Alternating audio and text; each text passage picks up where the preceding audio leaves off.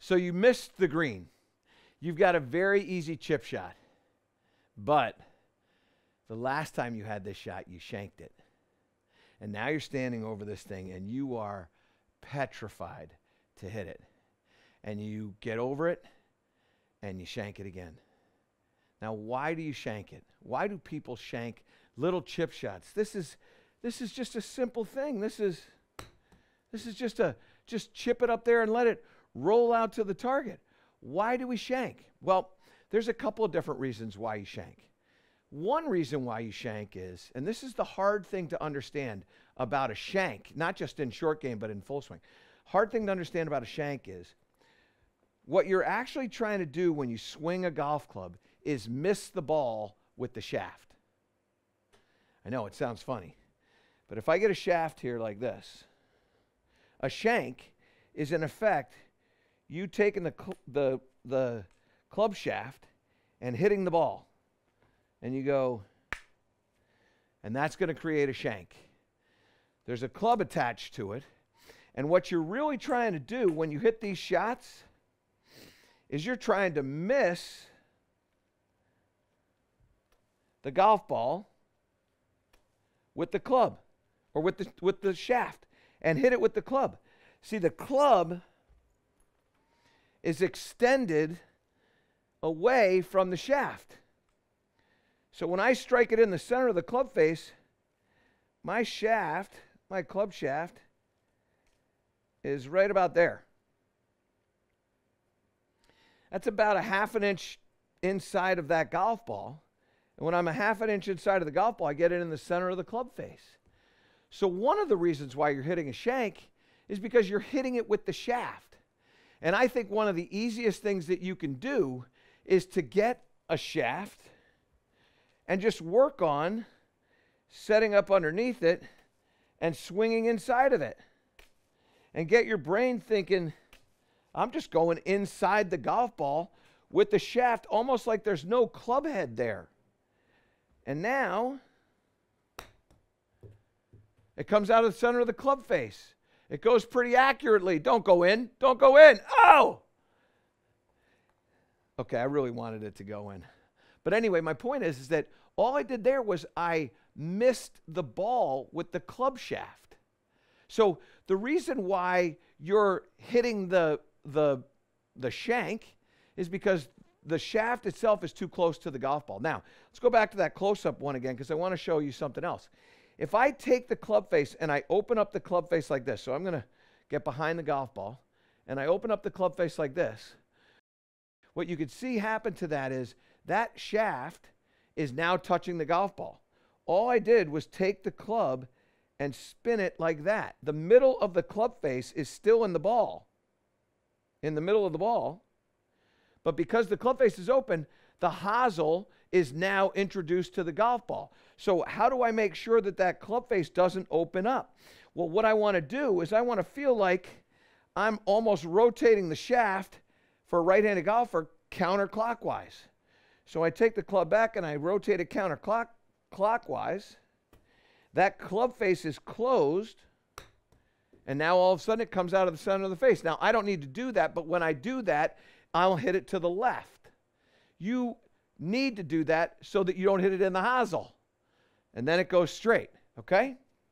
So you work on taking the club away and feeling that shaft spin for the right handed golfer counterclockwise. Now, the other reason why you're going to hit a shank is because you lose control of the path. So if we go down the line here, Many of you will take the club and let it go inside and then reroute it over and hit it in the shank. And many of you will take the club and you'll take it out here and then come back on the path that you were on and you'll hit it in the shank. Uh, so you lose control of the club. And this is where I like to use this U bar, which is a thing that, that I've showed you through time. I like to be able to just set that on the line. And then all I want to do is feel that club stay in this channel. Now, I'm not trying to hit it the distance that that target's away as much as I'm just trying to get a feeling of what happens when that golf club goes back. And what you can see, I love that down the line shot, Gibbsy. So what you can see is when I take this club back, that club head is kind of staying in that path. It's not perfect, but it stays in that path. And now all of a sudden you can see the golf ball is sort of going towards the target. And when you get comfortable with what you're doing, now you can increase the length of the swing and increase the speed of the swing. So here and then there, a little bit faster. Same thing again. So in here like this. Oh, that was so good. That was right in the center of the club face. That was excellent. And one of the things that those of you that take the club to the inside, one of the things that you're going to feel is that when you're taking the club back, it almost feels like you're taking it outside. You're not, but it feels like that. Okay? So for those of you that take it inside, feel like you're taking it outside, and that will help you. The other thing that you can do is you can simply take a tee and put a tee in the ground, and this is what I recommend doing for individuals that are really struggling with this. Tee this up so you don't have to move. Put that tee right there, and now miss the tee. When you start to do that, that club's not going to go inside in the backswing. You'll feel a little bit steeper. The club will start to go down. You'll strike the ball solidly. Okay, so a very simple thing for you to do. Now, for those of you that are feeling like you're taking the club, uh, that you are taking outside and you're looping underneath, you'll feel that steepness come in. And I love that feel of, of a steep angle of attack because that club is coming down. One of my favorite drills to do as well with this is to feel like you're using your trail hand only and you'll tend to take that club back a little straighter. It won't go outside, it won't go inside. It tends to move back pretty straight. And you're just hitting a, a little, very slow clubhead speed shot. That clubhead speed was only moving at about 20 miles an hour.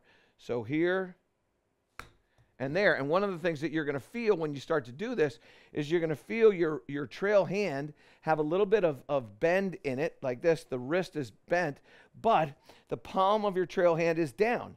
So when I take this club back, I feel the wrist bend this way and the club face is down to the ground, which means my palm is down to the ground. So here, palm down, boom. And then that comes out of the center of the club face with a nice steep angle of attack. That angle of attack was coming down, I don't know, probably 12 to, to 16 uh, degrees. And now all you do is you put your lead hand on there, but you hit it with your trail hand. Same exact thing. That club goes back. You get that bend in that wrist. You push down into that so you keep that, drive that thing out, and all of a sudden, that golf ball starts tracking where you want it to go. This is interesting. I heard Lee Trevino talking about this, and he was talking about how what you want to do is you want to compress that club into the ground, drive that club down into the ground. So, club face open drive it right down into the ground. This one's got a this one has a good look. Did I hit this one hard enough? I think I did. Oh man. How does that happen to a guy like me? So anyway, so that's what you can do. And then the final thing for those of you that are shanking with path is simply this. You take a tee, and you can get close up on that one, Gibbsy, and you put that tee just on the top side of that golf ball.